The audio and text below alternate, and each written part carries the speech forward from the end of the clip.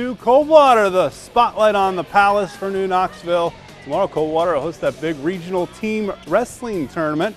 Coldwater scores down low. Cole Frilling gets it going. Then it's Frilling again playing some defense in the passing lane, and he's going to take it all the way in for the reverse lay-in. Nice job. How about the Rangers trying to get on the board with Sammy Anspa? He does over two defenders.